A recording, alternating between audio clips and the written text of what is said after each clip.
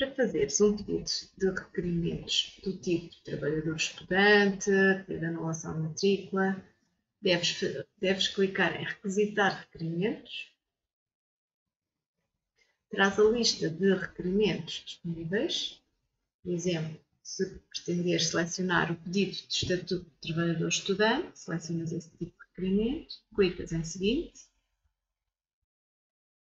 Deves indicar o motivo para o, que, para o qual estás a, a pedir, sendo, sendo, que, sendo que não é obrigatório este campo. Fazer o seguinte. Deves aqui anexar estes dois documentos. Uh, caso seja trabalhador da função pública, bastará unicamente a declaração da entidade patronal. Se for trabalhador uh, ah, do setor privado, terá que anexar os dois documentos. Então, Deve selecionar então os fecheiros, comprovativo, enviar, selecionar a declaração, clicar em enviar. E agora para fazer o seguinte. Pretender terminar o processo, clicar em confirmar. Neste momento, o teu processo foi registado no sistema. Poderás consultar o seu estado, aqui em Requerimentos, Consultar.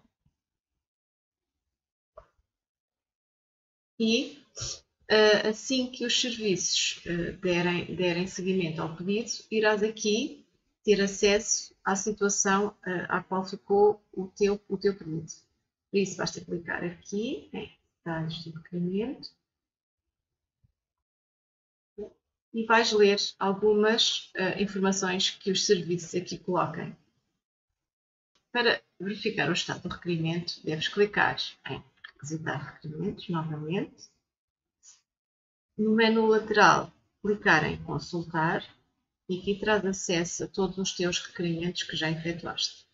Para ver a situação do, dos mesmos. Neste caso, já foi deferido, e poderás ver se existe alguma informação por parte dos serviços.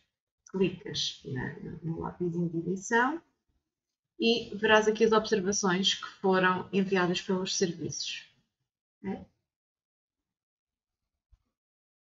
é assim, desta forma, que se efetua o requerimento e depois se consulta a situação que eh, eh, que deverás verificar porque poderá ter alguma uh, relevância ou necessidade de anexar qualquer documentação que tenha sido, uh, que esteja em falta para poder dar seguimento ao processo.